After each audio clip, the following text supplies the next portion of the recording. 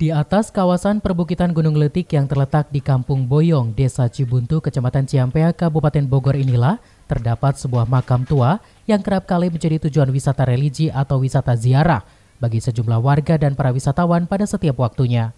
Makam tua yang acap kali menjadi tujuan wisata ziarah bagi sebagian orang inilah yang kemudian membuat pemerintah Desa Cibuntu memutuskan untuk membuka akses jalan menuju ke lokasi perbukitan Gunung Letik ini. Membuka akses jalan menuju ke sebuah pebukitan di Gunung Letik yang di atasnya terdapat sebuah makam ini dianggap oleh pemerintah Desa Cibuntu sebagai salah satu upaya untuk membuka tujuan wisata ziarah yang nantinya akan bisa mendatangkan keuntungan ekonomi bagi warga sekitar. Makam tua di atas bukit Gunung Letik ini diakui oleh sang penjaga makam merupakan salah satu titik lokasi yang sering kali ramai dikunjungi oleh orang-orang dari berbagai daerah sejak awal tahun 2000-an untuk melakukan ziarah. Keberadaan makam di atas bukit ini diyakini oleh para peziarahnya sebagai makam para leluhur raja di tataran Sunda yang sempat menjadi pemimpin di masa kejayaannya dahulu kala.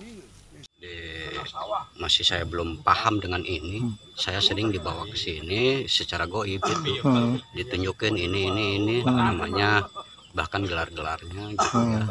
Ada gitu. berapa sih Kang yang di sini Kang? Kalau yang secara... kalau yang dibilang orang-orang utama ini 25 itu yang hmm. disebut uh, perwakilan 25 negara hmm. gitu kumpulnya antara di Gunung Salak dengan di sini gitu. Hmm.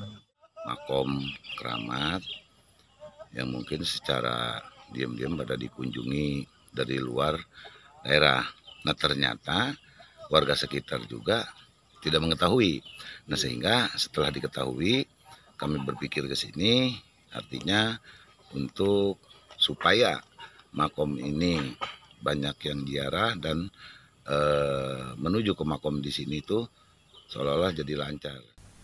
Selain untuk membuka peluang wisata ziarah, pembukaan jalan ini pun dianggap sebagai salah satu upaya oleh pemerintah Desa Cibuntu di dalam melestarikan kearifan lokal terhadap sebuah situs warisan budaya Sunda yang ada di Kabupaten Bogor. Dari Ciampea, Kabupaten Bogor, Iman Abdurrahman melaporkan.